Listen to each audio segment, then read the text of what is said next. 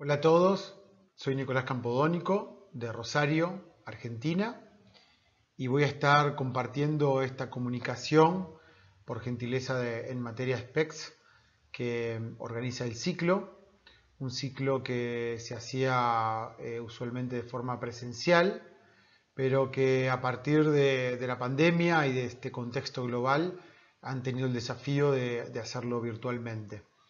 También nosotros hemos tenido el desafío de participar en forma virtual.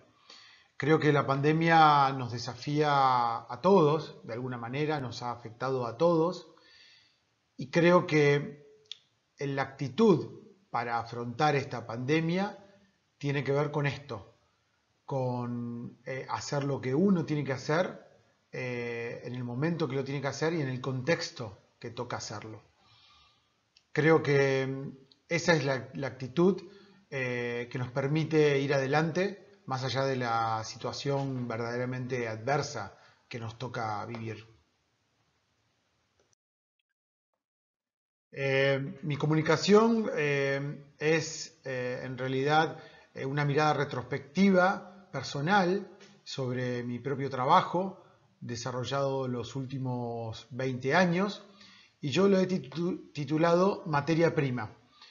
Eh, la materia prima son todos aquellos elementos naturales que, sirven para, producir todo lo, que tenemos eh, como sociedad. Y de la misma manera, para mí, eh, esta mirada retrospectiva me permitió detectar aquellos elementos que son de alguna manera como los elementos primeros a la hora de pensar o hacer arquitectura para mí. Estos eh, elementos que, conforman eh, mi materia prima son la luz, el espacio, la materia, el lugar y el tiempo. Eh, no, son, no, son, temas o elementos solo de la disciplina de la arquitectura, y eso es probablemente lo que más me gusta. Eh, son temas o ideas que en realidad refieren eh, tanto a nuestra disciplina como a tantas otras, pero, pero fundamentalmente y principalmente refieren a la existencia humana. Eh, tampoco son eh, elementos que aparezcan por separados en las obras, eh, sino que en realidad eh, aparecen todos de distinta manera, en distinto grado, y coexisten y se relacionan. Creo que eso es lo más lindo de la arquitectura. Eh, en este caso, yo para esta comunicación voy a ir tratando de contar cada uno de estos temas con una obra construida, de alguna manera para que pueda ser más precisa la comunicación y contar cómo pienso cada uno de estos elementos en relación con la arquitectura.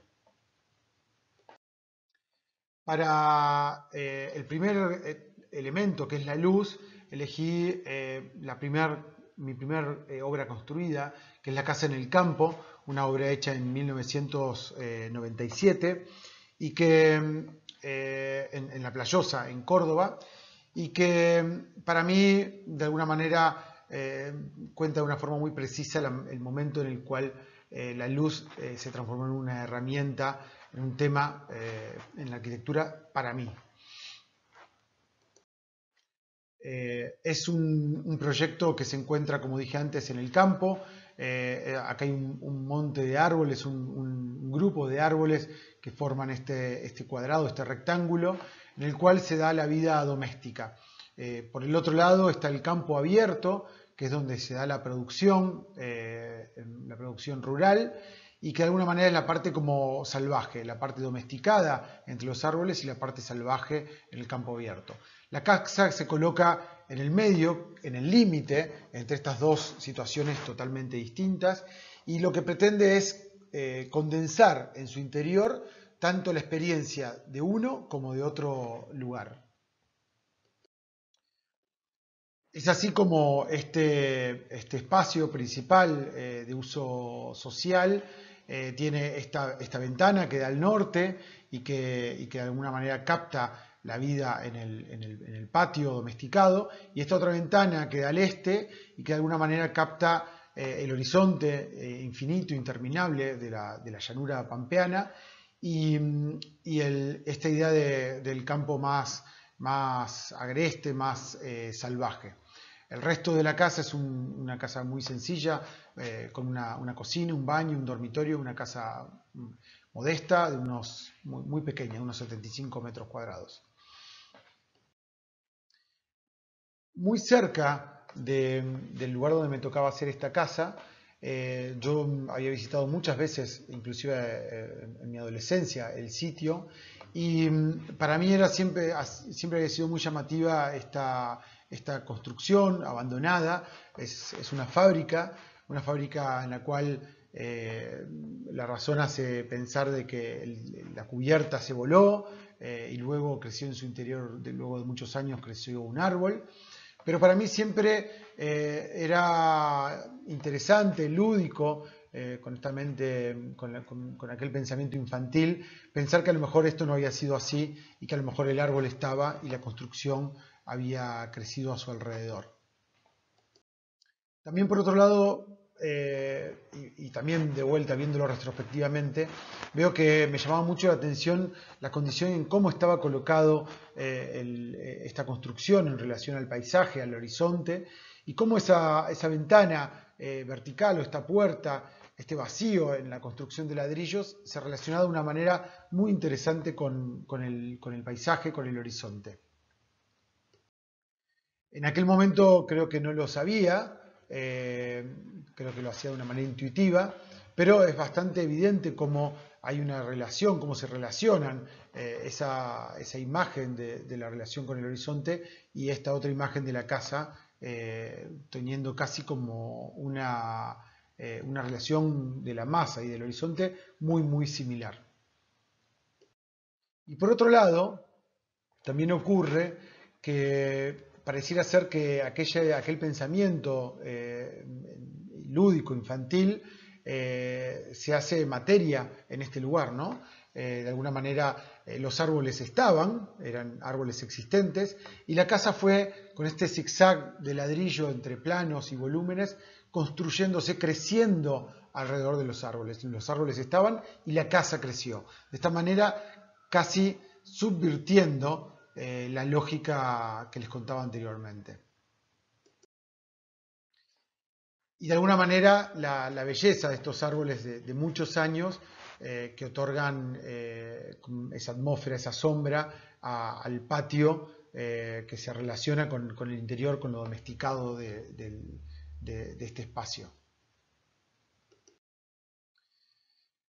Finalmente, y, un poco para introducir el tema de la luz, eh, aparece esta ventana, que es una ventana que en, su momento eh, yo había dibujado y que estaba en relación, eh, la había dibujado desde dibujando las vistas, los geometrales, y, seguramente estaba más en relación con la volumetría y con cómo se vinculaba esta ventana con las distintas líneas de la casa. sin embargo, lo más interesante de esa, de esa ventana fue eh, lo que ocurrió cuando ya terminada la casa, cuando descubrió que, esa luz rasante del oeste, mm, en, la pampa, eh, la luz es capaz de llegar casi hasta horizontalmente por la eh, ausencia de obstáculos, y es lo que estaba pasando en esta casa, donde esta ventana ubicada al oeste estaba permitiendo ingresar unas de luz eh, muy rojo eh, por el crepúsculo, por, la tarde, y mm, muy rojo y muy horizontal al espacio interior. Y después de atravesar todo el espacio interior, esa ventana eh, aparecía reflejada en el árbol afuera, ¿no? casi como por una especie de, reflexión con esta otra ventana, una con otra. la ventana aparece colgada en el árbol eh, o, simula estar colgada en el árbol. Y de alguna manera eh, la casa nos devuelve, nos regala esto, ¿no? Porque por un lado está lo que habíamos pensado, por un lado la parte domesticada, por esta ventana, viendo el, patio, el, jardín domesticado, por otro lado el campo abierto, eh, salvaje, por el otro el, horizonte del este, pero ahora también aparece el horizonte del oeste en esa pequeña ventana rectangular. Eh, casi como un regalo metafísico aparecen ambos horizontes en, una sola, en un solo punto de vista. Ya avanzando en el anochecer, la relación de, la casa con, esos árboles. Y desde lo lejos, desde el horizonte, la relación de la, de la casa con el cielo. El segundo tema, eh, para mí es eh, el segundo elemento, el espacio. Elegí eh, contarlo con una de mis últimas obras terminada, que también es una casa, distante 20 años una obra de la otra. Es una casa en Rosario, en un barrio cerrado, terminada en el año 2019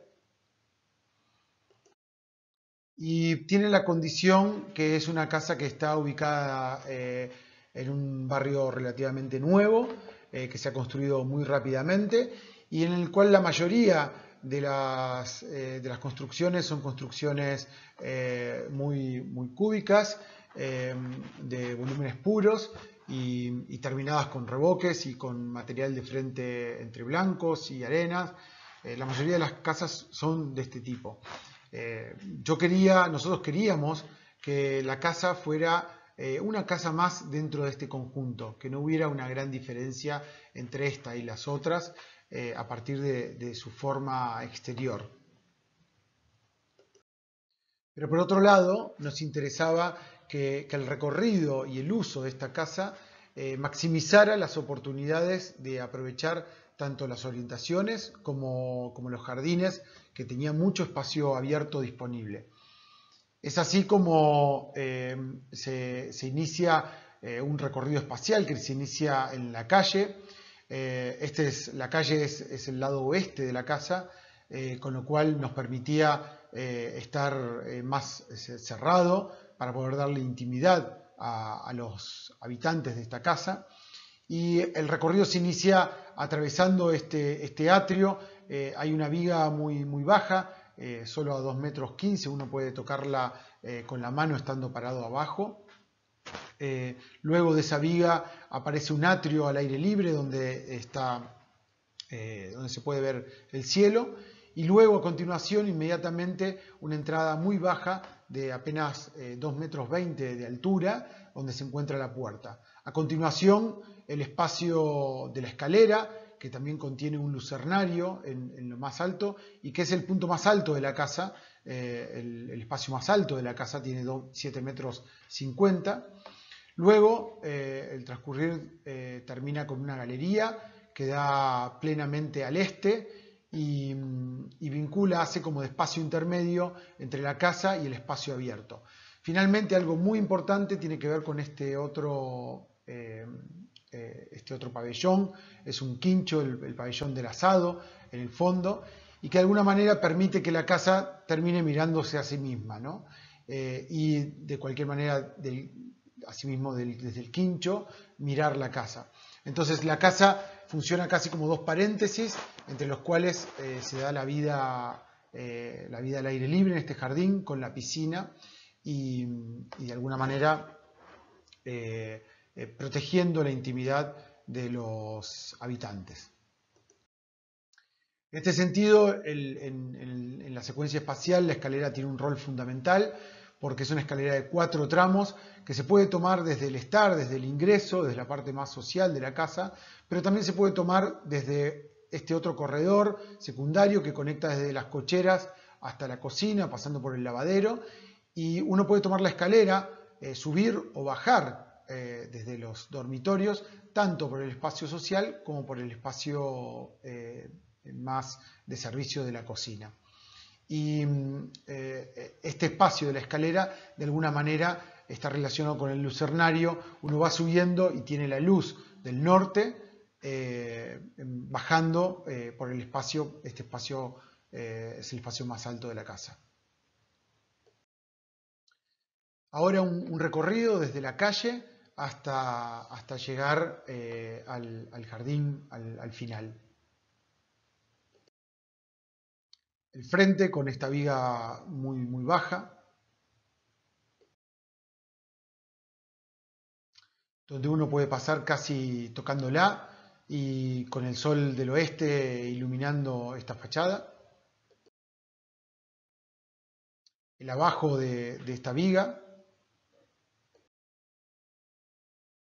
Una vista desde la cochera, mirando hacia el atrio a cielo abierto.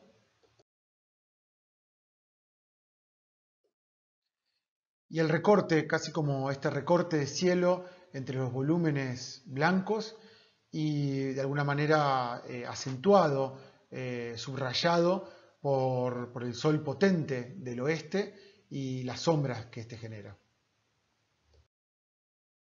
El ingreso, eh, este ingreso bajo de 2 metros 20, en contraposición con, con, esta altura de 7 metros y medio del lucernario y la escalera.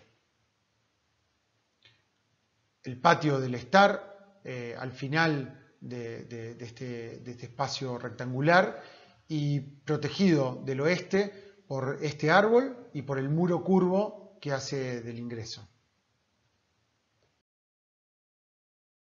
La, vista de la escalera eh, es casi como una escultura transitable y de qué manera este, este elemento formal va eh, dialogando con el espacio y con la luz para hacer esa transición ir permitiendo y ocultando las relaciones visuales entre el, corredor de los dormitorios arriba y el living comedor en la planta baja. Una mirada de la escalera eh, hacia, hacia abajo, hacia el estar. La relación del lucernario al norte y en diagonal esta vista con el estar y la, y la ventana que da al patio con el árbol y el muro curvo del ingreso. Y hacia el otro lado, hacia el este, la relación de la escalera, este, este, el descanso, el espacio intermedio, en relación con, con, la ventana al norte y esta gran ventana del este que se vincula con la galería y con el, y con el jardín trasero. La relación de, todo el espacio de la casa eh, con el jardín a través de la galería, la piscina y el, en el fondo el pabellón, eh, el quincho, el pabellón de, de, los asados. Esta galería amplia que recorre todo el ancho de la casa y que tiene eh, aproximadamente 4 metros de, profundidad.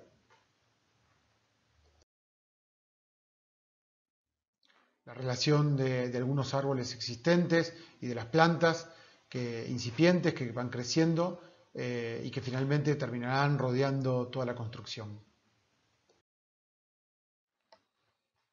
Para el segundo tema, para la materia, quería eh, contarles, para el tercer tema, la materia, quería contarles el proyecto del edificio Maipú. Eh, es un proyecto terminado en el año 2011 eh, es un edificio de viviendas en el centro de la ciudad de Rosario. Está ubicado aquí, en el, centro de la ciudad, en el casco consolidado de la ciudad, muy cerca del, río Paraná. Y mm, a pesar de que es un edificio entre medianeras, funciona casi como una torre exenta, porque los dos, eh, las dos casas linderas eh, son eh, casas de, preservación patrimonial, con lo cual el edificio a partir del tercer piso funciona prácticamente como una torre. Esta es la planta, la planta baja y la planta de, departamentos, la planta tipo del edificio. Y esta condición de que funcionara casi como una torre y muy cerca del río, con, con vientos que a veces son bastante potentes, nos eh, obligó de alguna manera a pensar eh, en tomar los esfuerzos del viento con tabiques en los dos sentidos, porque era imprevisible saber desde dónde podían venir los vientos. Esta condición, que en principio es una, es una dificultad, en realidad nosotros, para nosotros fue una oportunidad para trabajar eh, prácticamente monomaterialmente, todo con el hormigón, y hacer de, esta materia eh, casi un tema, eh, el tema del edificio. De esta manera, eh, los tabiques están ubicados en, el núcleo central, el núcleo donde está eh, la escalera y el ascensor, y el resto de los tabiques están en el perímetro haciendo una estructura de esta columna central y de tabiques perimetrales que son de alguna manera los que pueden tomar el esfuerzo que contaba antes sobre el viento. Mm, la materia toma, eh, la materia y este material, puntualmente el hormigón, toma un protagonismo eh, enorme dentro de este proyecto, constituyéndose en la estructura eh, portante del edificio, en la envolvente también al mismo tiempo, y en la expresión finalmente. Y mm, esta expresión tiene que ver con, dejar expuesto, expuesta la naturaleza de, la materia y de cómo eh, esta materia va resolviendo los distintos eh, temas del edificio a medida que se va encontrando con, ellos. Por ejemplo, en, la fachada principal a la calle, que es oeste, eh, estas vigas que, conforman un, gran tabique central que, que, se desarrolla desde la planta baja hasta el piso 15. Estas vigas se van apoyando en las losas de los departamentos y las losas de los departamentos dejan como un espacio la ventana del descanso de la escalera. El descanso de la escalera es la próxima losa y funciona también como un separador y permite dejar eh, dos vacíos en relación con, las cocinas y con los lavaderos. De esta manera, eh, estas, eh, estas, vigas de hormigón llevan el desarrollo de casi el 60% de la fachada al oeste, el resto del 40% son 20% una ventana y 20% la otra, y las dos son balcones, con lo cual permite controlar la incidencia eh, solar eh, de una manera más sencilla a partir de, colocar elementos en el balcón, ya sea plantas o, toldos o cortinas, eh, para bloquear el sol horizontal del oeste. Un poco una vista del, proyecto en relación al río. Y cómo este material, el material elegido, eh, es, recurrente y queda siempre eh, a la vista en todos los lugares del proyecto, en, la cochera, en el hall, eh, en los balcones, todos los lugares donde no necesitaba una, un, doble muro por cuestiones de, aislamiento térmico y aislamiento hidrófugo, en todos los lugares donde no se necesitaban esos aislamientos, el hormigón queda expuesto eh, tal cual como, quedó desencofrado. La relación de, esta materia eh, con la luz y con la sombra, eh, que es un tema fundamental en este proyecto y en la arquitectura en general. Ahora voy a hacer un, recorrido entrando y, subiendo por el proyecto. El, hall, de alguna manera, eh, tomando la entrada de la gente y llegándolo hasta el, hasta el núcleo central del proyecto para el acceso, que es el ascensor de un lado y la escalera del otro. La relación de la escalera y cómo se coloca a medio nivel por el descanso. La escalera eh, sube desde, desde, el centro del edificio y sube medio nivel hacia, hacia la fachada, hacia afuera. Por eso el descanso se coloca eh, a medio nivel y estas son las ventanas que yo eh, mostraba antes. Acá se pueden ver más claramente las ventanas eh, de la escalera producidas por las losas y las ventanas de las cocinas producidas por la losa de la escalera. La oportunidad de dejar eh, todo el material totalmente visto y de esa manera, para potenciarlo, trabajar solo tocándolo en apenas unos puntos, ¿no? Entonces esta escalera se va como soldando, colocando apenas en los guardacantos, las aberturas están colocadas por detrás eh, del material, todo intenta preservar eh, la lógica eh, del material lo más cruda posible. Los interiores blancos porque tienen un doble muro que contempla las aislaciones, pero ya en el balcón, de vuelta, eh, el material lo más crudo posible y cómo hasta las barandas se van como colocando de una manera muy respetuosa en el proyecto, casi como vinculándola a partir de estas planchuelas y, sin eh, rompiéndolo eh, y perturbándolo lo menos posible. Una vista desde la ciudad hacia, hacia el edificio y desde el edificio eh, hacia, hacia, la ciudad y acá a lo lejos el, paisaje de, las islas y el río. Finalmente, esta es eh, la forma en que queda eh, el proyecto en la trama, cómo se incorpora, se incorpora, se incorpora de tal manera que se hace casi invisible. Finalmente, el edificio es uno más dentro de, los casi 4.000 edificios que están en la ciudad. Se puede ver por acá, una ayuda para verlo. Ahí está. El cuarto elemento tiene que ver con, el lugar.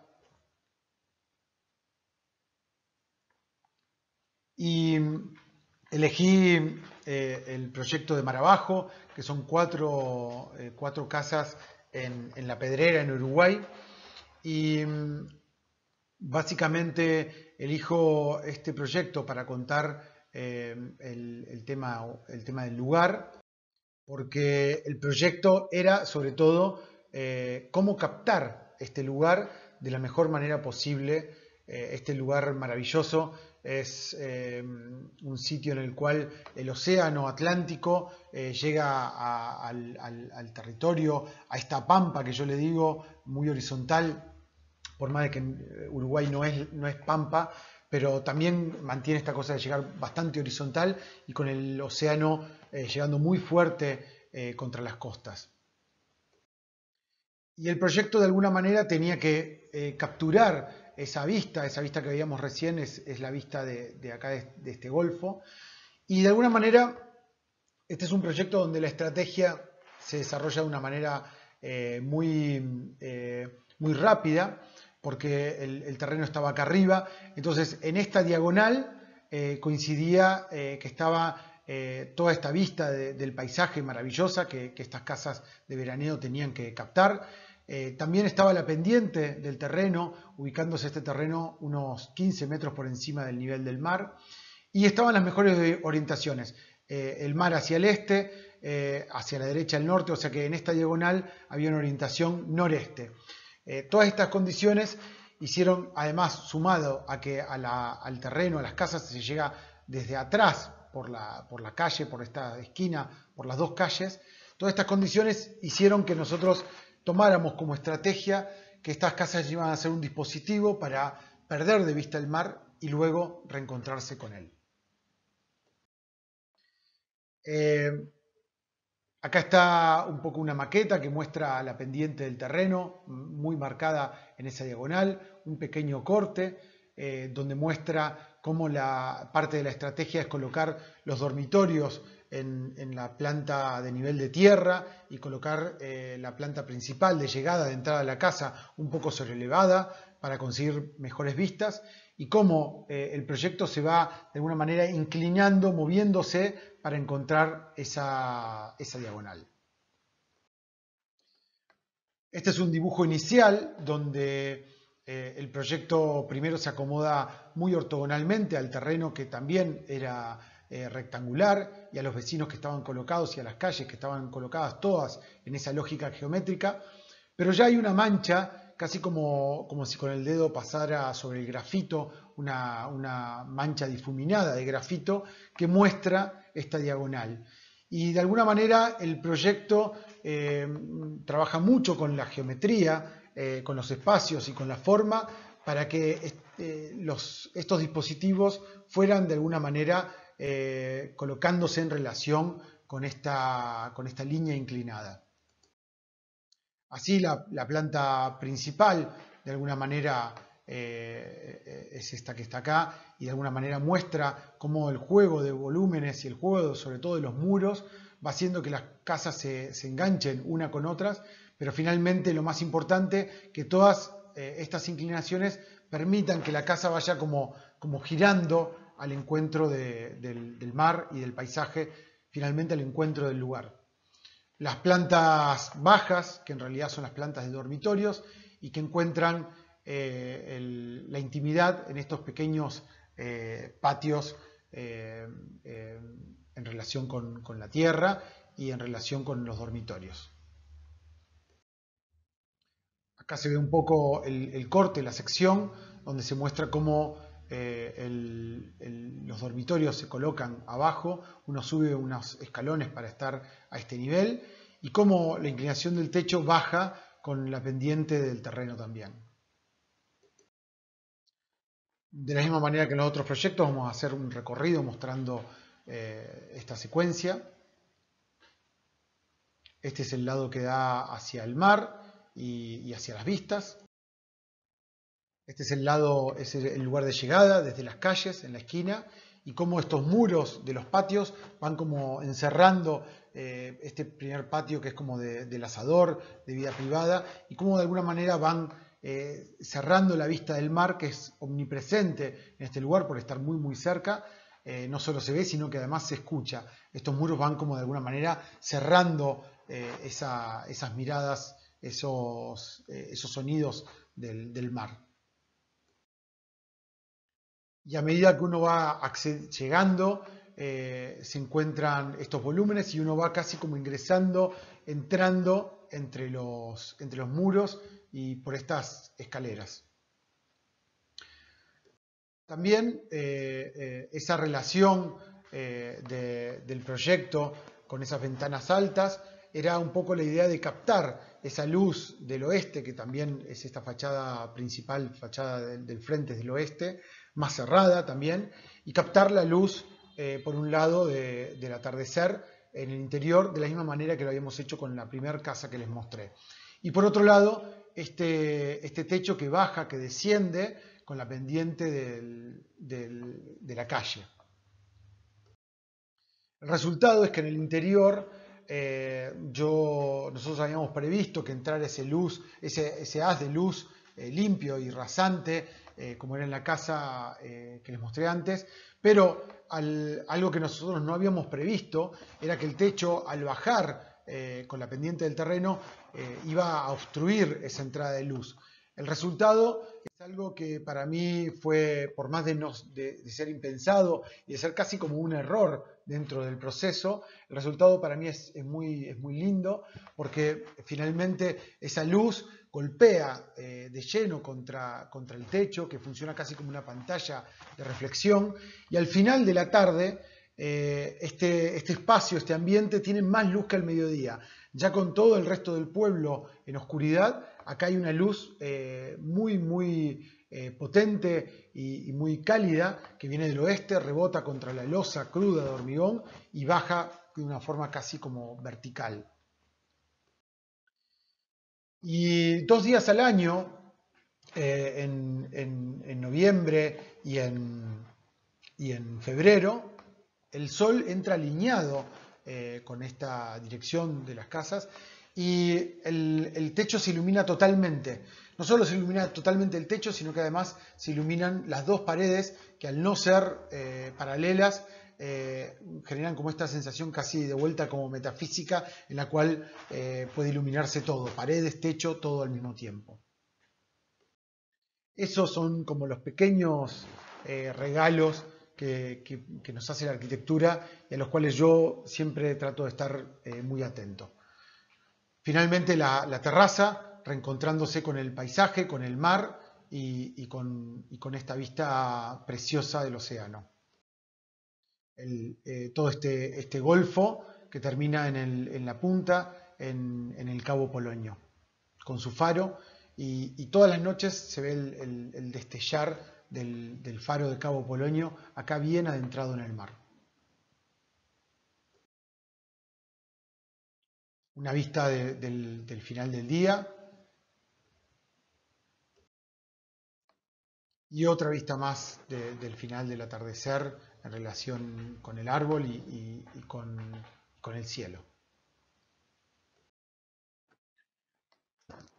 finalmente, eh, el, quinto y último de estos temas es eh, el, tiempo y es un tema esquivo para, nosotros, difícil de, abordar. Y elijo la capilla San Bernardo para, contar este tema porque lo muestra de una manera muy, muy clara. Pero además la capilla me permite de alguna manera cerrar y vincular todos estos temas. Creo que es una obra muy sintética en la cual eh, los cinco temas están presentes de una forma muy vigorosa. Este proyecto, es, que es un proyecto familiar, eh, se ubica eh, de vuelta en la llanura pampeana, está muy cerca de, esa primer casa que les mostré, y de vuelta eh, un, monte de árboles es, protagonista, es el lugar elegido para, hacer, para erigir esta capilla. es un monte de árboles donde en el pasado los primeros habitantes de esta, de esta, zona que venían a trabajar el campo armaban, lo primero que hacían era plantar estos árboles que eran como un poco la protección de, la vida doméstica y en el, en el centro eh, había una casa y un pequeño patio. En este caso la, casa fue desmantelada eh, porque, porque, ya no, estaba siendo en uso. Entonces el vacío que queda acá es el vacío de la casa y este vacío acá adelante es el vacío del, patio eh, que tenía la casa. para mí este, este proyecto, este encargo fue un encargo eh, que me sorprendió gratamente. Para mí era eh, un encargo muy importante, eh, muy lindo, porque probablemente las mejores arquitecturas que me ha tocado ver presencialmente o estudiar de libros han sido edificios sacros. Así que para mí la oportunidad de hacer un pequeño edificio de este tipo era una gran oportunidad. Y también eh, a, esa euforia inicial le, siguió un poco una cierta angustia porque eh, también era una, dificultad enorme cómo empujar los límites de, la disciplina en algo que, tenía eh, estos referentes tan maravillosos. Y para mí es importante hablar de esto, ¿no? Es decir, creo que algo que, me propongo, nos proponemos en el estudio, es cada vez que hacemos un trabajo, abordarlo de manera tal que intentar eh, empujar los límites de lo que hacemos. Eh, eh, al menos intentarlo, más allá de que se logre o no. En este sentido, en este proyecto, finalmente decidimos que el proyecto teníamos que trabajar con las cosas que ya veníamos trabajando en proyectos anteriores. Entonces, tomamos algunas decisiones importantes eh, con respecto a, la arquitectura propiamente dicha. Una tenía que ver con que íbamos a trabajar de vuelta en el límite de, esta arboleda, eh, en, el límite entre la arboleda y el espacio abierto, eh, que íbamos a trabajar con el material del lugar, con los ladrillos, que son, en este caso, íbamos a reutilizar los ladrillos de, esta, casa desmantelada. Y el ladrillo también porque lo teníamos, pero también porque pensábamos que eh, el ladrillo es de alguna manera como el material natural del, lugar, de la pampa. En la pampa no tenemos acero, no tenemos piedra, no tenemos bosques, no hay madera, eh, lo que tenemos es tierra. Y la tierra con el agua y el fuego eh, son los ladrillos. Así que para mí el ladrillo es el material natural de la pampa. Y finalmente íbamos a trabajar con la luz, con esta luz rasante del oeste que ya habíamos experimentado en la primera casa, en la Casa del Campo, y que también habíamos experimentado en, las casas de, Uruguay. El otro, el otro, tema importante era ver cómo, eh, cómo hacíamos una capilla hoy, ¿no? Probablemente el encargo, cuando me, hacen el encargo, estaban imaginando una capilla tradicional como esta, de las que hay muchísimas y que son maravillosas. Pero nosotros pensábamos que una capilla en el siglo XXI eh, tenía que tener otras condiciones. Y ya no era tan necesario los elementos de comunicación arquitectónico del credo del, cristianismo, como era la cruz, eh, la puerta, el campanario, el atrio eh, libre y, despejado adelante de la puerta para que el pueblo entrara, eh, para que el rebaño, eh, que es el pueblo, el rebaño de Cristo entrara en la capilla, sino que pensamos que una capilla eh, en, estos tiempos tenía que ser por sobre todo un lugar de, meditación, de reflexión, un espacio que, que de alguna manera posibilitara o permitiera un viaje al interior, un viaje introspectivo al interior de cada uno. De esta manera, el, proyecto, este es un, pequeño modelo físico, una maqueta de, la primera propuesta del proyecto, y lo que hace es subvertir aquellas cosas que, estaban presentes eh, en, las capillas eh, convencionales. Ya no tiene una puerta grande, eh, ni tampoco está adelante. Eh, hay que encontrar un poco el camino hacia el interior. Uno termina entrando por un lugar muy angosto, muy estrecho, que es un corredor que se va angostando. Y finalmente estaba el tema de la cruz. no queríamos, no queríamos colocar una cruz pero sí que, el encargo la, necesitaba y la pedía y finalmente accedimos a colocar una cruz. Pensando que esta cruz ya no iba a ser tan importante que se viera desde afuera, sino que iba a ser una cruz proyectada en el, interior. Entonces el sol eh, rasante del, oeste, del atardecer, iba a proyectar en el interior eh, la cruz de la capilla. Cuando entendemos esto, también nos damos cuenta que era importante que ese interior fuera lo más, eh, más eh, eh, suave posible, que no tuviera aristas entre, las paredes y el techo, para que de alguna manera esa cruz nunca se rompiera, no, no, se quebrara, sino que se deslizara suavemente en el interior de la capilla. Y es así como tanto la sección como la planta eh, incorporan o, contienen un círculo, eh, al estar contenido en la planta y en el corte, en realidad eh, todo este edificio que tiene una forma trapezoidal, media triangular, contiene una esfera en su interior que no es más que una pantalla de proyección de 360 grados para, para la cruz. Esta es la ubicación final de vuelta eh, ubicándose en el límite entre los árboles y el campo abierto, eh, el norte hacia arriba, eh, esta boca, este cono abriéndose hacia el oeste.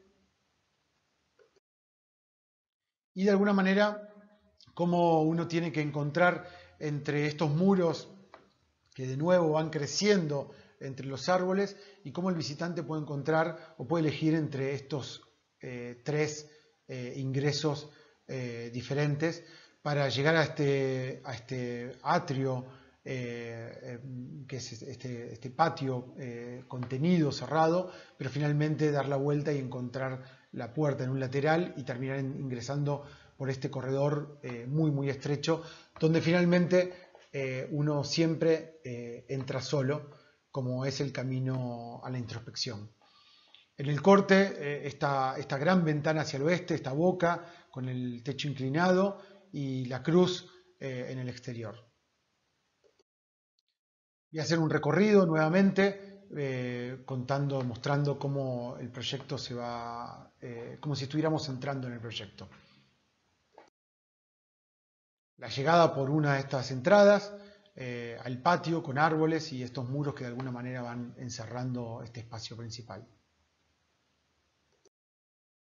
Los ladrillos eh, reciclados en el exterior y nuevos en el interior, que de alguna manera eh, tenían ese, ese, verdín, eh, de ese, material verde de, los años, tenían casi 100 años, pero que cuando construimos la obra, esos, esa película, esa, esa, capa verde de material verde, material orgánico, como construimos con, con cal viva, eh, ese material se limpió totalmente. Para mí fue un momento muy eh, triste porque de alguna manera era como haber perdido esos 100 años de historia en los ladrillos.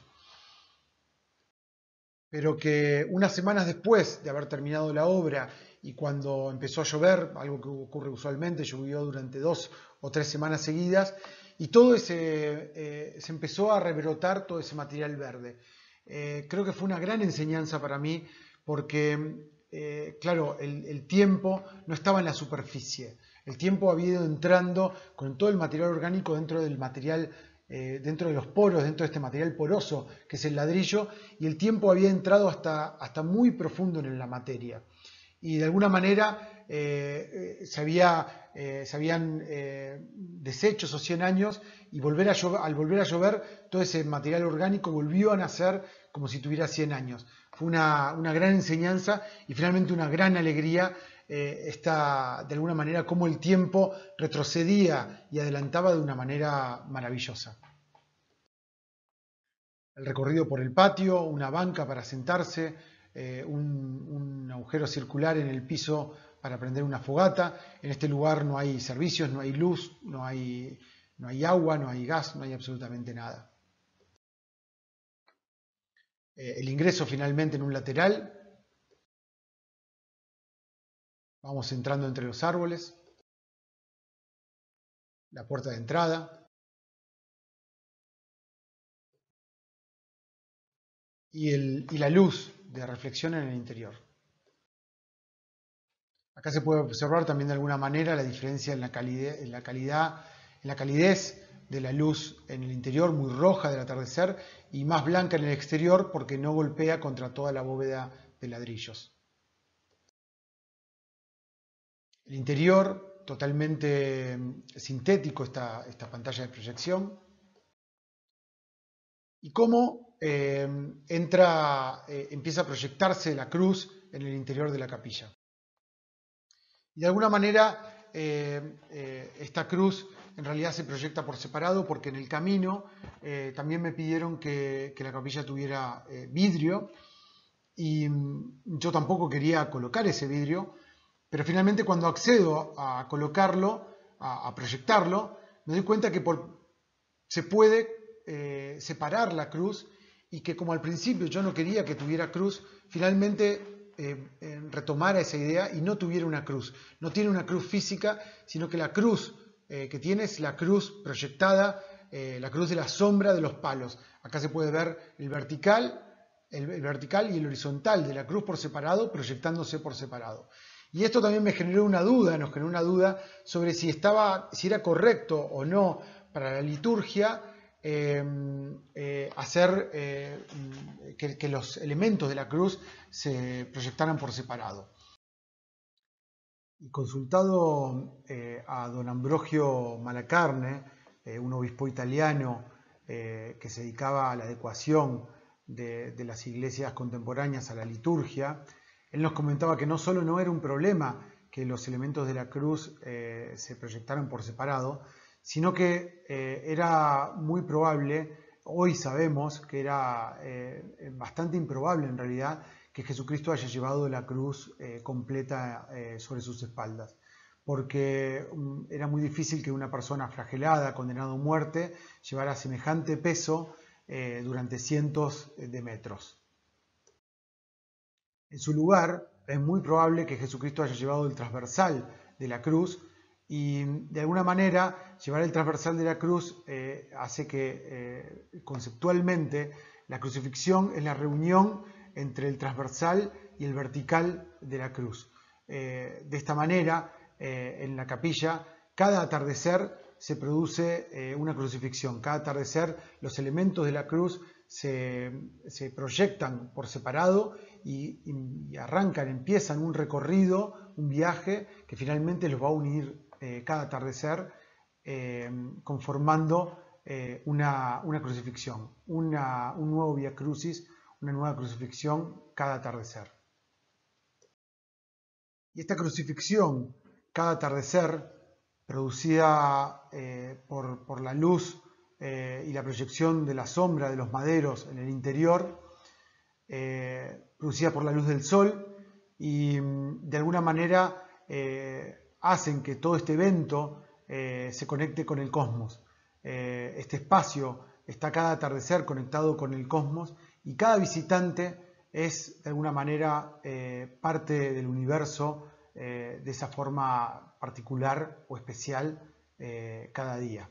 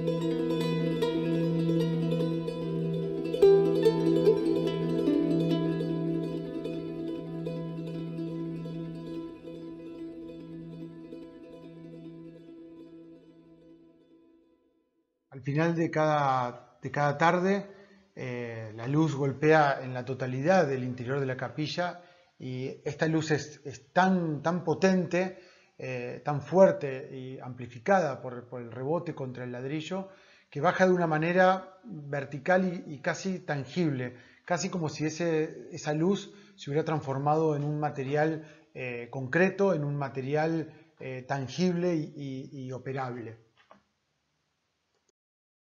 Desde, el exterior eh, se ve casi como si fuera una luz sólida, casi como si pudiéramos eh, cortar esta luz eh, con un cuchillo.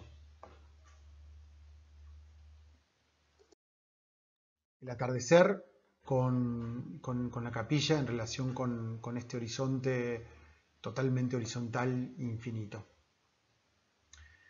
Hasta acá mi presentación. Espero que, la hayan, que la hayan disfrutado y nuevamente quiero agradecer en materia de Specs por la invitación y, desearles a todos que estén lo mejor posibles, lo mejor posible en, este, en, este, en esta pandemia, en, este, en esta coyuntura que nos toca vivir. Hasta luego.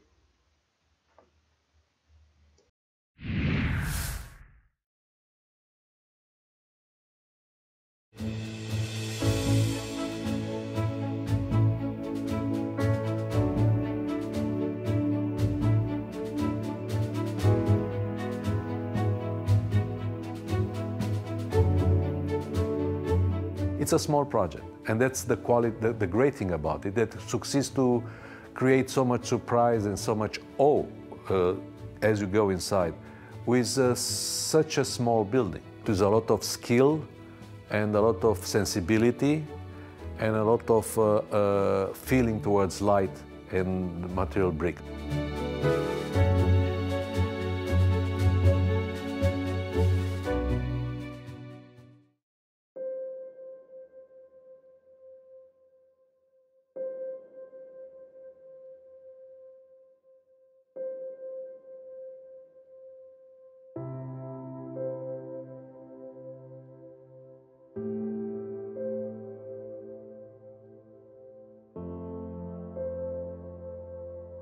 Capilla es un sitio de oración.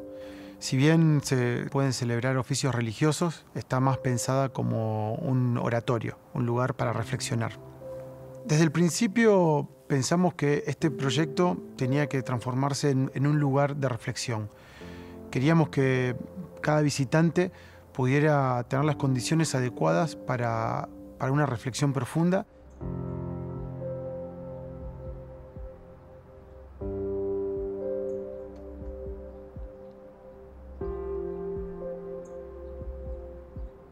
La capilla no, utiliza ningún tipo de servicio, básicamente porque en este sitio no hay ningún tipo de servicio. No hay electricidad, no hay agua, así que mm, está inmersa en la naturaleza. Podríamos decir que la naturaleza impone sus reglas en este sitio. Eh, estamos en la llanura pampeana y en este sitio no, hay árboles, no hay bosques, eh, no hay piedra, eh, tampoco hay acero y por ende lo, que hay eh, en abundancia es tierra. El, ladrillo es la combinación de tierra, agua y fuego. Me gusta pensar que conceptualmente el, ladrillo es el material natural de este sitio. Esta primera condición fue fundamental para elegirlo casi como el monomaterial del proyecto.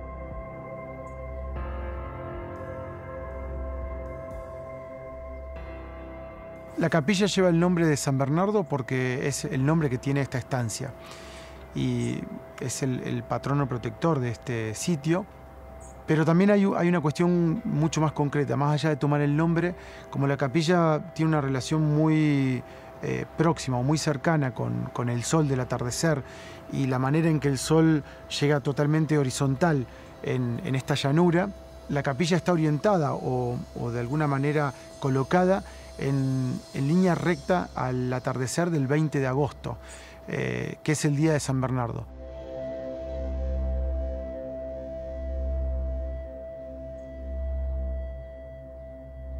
Lo que ocurre todas estas tardes es que los dos, las dos sombras, o el, elemento transversal y el vertical, se comienzan proyectando por separado y finalmente a través de este espacio curvo se, se terminan completando como una cruz. Casi como si cada tarde ocurriera una crucifixión. Es un nuevo Via Crucis cada tarde. Y yo creo que la arquitectura es una construcción colectiva y de sociabilización, de conocimientos. Creo que eh, yo soy un, punto más en esta construcción colectiva y la verdad que si de alguna manera esta obra ayuda a otros a, repensar cómo hacer otras cosas y, y ayuda a concretar otro proyecto en el futuro, para mí sería una gran alegría.